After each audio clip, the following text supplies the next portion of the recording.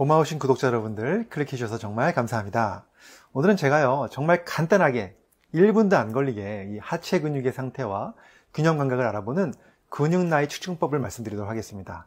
이 방법과 함께 또 노화를 방지하기 위한 운동법까지 말씀드려 보도록 하겠습니다. 여러분들 궁금하시면 끝까지 봐주시고요. 도움이 되셨다면 좋아요, 구독, 알림 설정까지 해주시면 정말로 감사하겠습니다.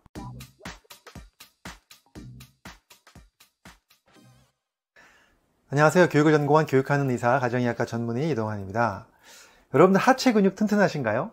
나이가 들어가면서 자꾸 하체 근육이 빠지고 또 균형 감각을 잃게 되죠. 그래서 오늘 제가 근육 나이 측정법이라 그래서 아주 간단하게 해볼 수 있는 방법을 말씀드리려고 하는데요. 물론 이 방법은 연구가 정확하게 된 방법은 아닙니다. 하지만 많은 전문가들이 재미있게 만들어낸 방법인데요. 한번 집에서 따라해 보시면 좋을 것 같습니다. 아주 간단합니다. 일단 똑바로 선 상태에서요. 양쪽 발을 팔을 벌립니다. 그리고 눈을 감은 상태, 그 다음에 한쪽 발을 들어요. 그러니까 다시 한번 말씀드리면 팔을 벌리고 눈을 감고 한쪽 발을 든 상태입니다. 이런 상태가 되겠죠. 이런 상태로 몇 초 동안 중심을 잘 잡고 서 있는지를 확인하는 건데요. 중간에 무게중심이 흔들려가지고 이렇게 심하게 흔들리게 되면 그때 끝나는 겁니다. 그래서 그때까지 초를 한번 재보시는 건데요. 아마 옆에서 다른 분이 초를 재보시면 좋겠죠. 그래서 과연 몇 초를 버티는 것이 정상이냐. 일단 10초 이하에서 균형 감각을 잃어버린다면 그것은 어, 우리 몸의 나이가 이 근육, 하체 근육의 어떤 나이 상태라든가 균형 감각 상태가 60대 이상으로 보시는 게 맞고요. 그리고 만약에 15초 정도 버텼다 하면은 50대로 보시는 거고요. 그 다음에 20초를 넘길 수 있으면 40대 정도로 보고요.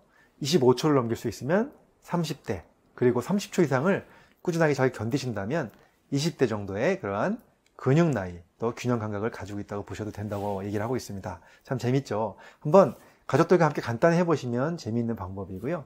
그와 함께 우리가 나이가 들어가면서 노화를 방지하기 위해서 여러 가지 운동을 해야 된다고 많이 알려져 있는데 최근에 가장 강조되고 있는 운동이 바로 역시 근육 운동입니다.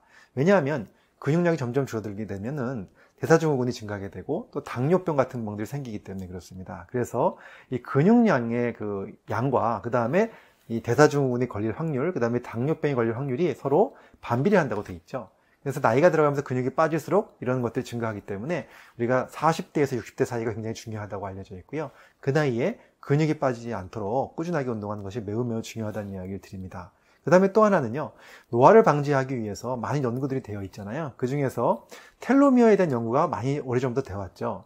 이 텔로미어라는 것은 영습체의 그 끝 말단 부위를 얘기하는데요. 이 부위가 있어야만 DNA를 보호하고 또 잘 복제되도록 도와주는 그런 부위입니다. 그런데 우리 인간의 세포가 계속해서 세포 분열이 계속되면서 점점 점점 텔로미어의 길이가 짧아지게 되죠. 그래서 노화가 빨리 오게 됩니다. 그래서 운동을 통해서 이 텔로미어의 길이를 좀 연장시킬 수는 없어도 덜 줄어들게끔 할 수 없는가에 대한 연구가 있었습니다.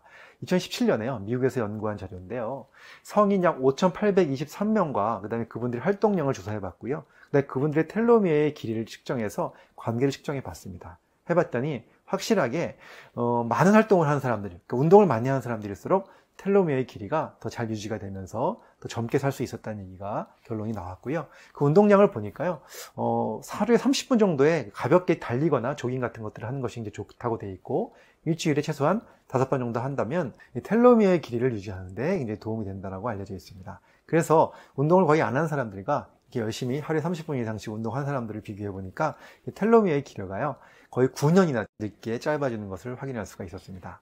여러분들 어떠십니까? 사실 나이가 들어가면서 우리가 근육이 점점 줄어들고 또 근육에 힘이 빠지기 시작하죠. 그래서 근육을 유지하고 어, 이 코어 근육들을 잘 활용함으로써 이 코어 근육이 잘 어, 활용될 수 있는 운동을 함으로써 우리가 좀 더 근육 나이를 좀 유지시켰으면 좋겠고요. 그와 함께 이러한 유산소 운동, 조깅이라든가 가볍게 달리는 것도 좋고요. 또는 어, 관절이 안 좋으신 분들은 빠른 걷기도 괜찮습니다. 이런 것들을 꾸준히 함으로써 텔로미의 길이를 유지시킴으로써 우리가 더 노화를 늦추고 더 건강하게 살 수 있는 그런 길이 열렸으면 좋겠습니다.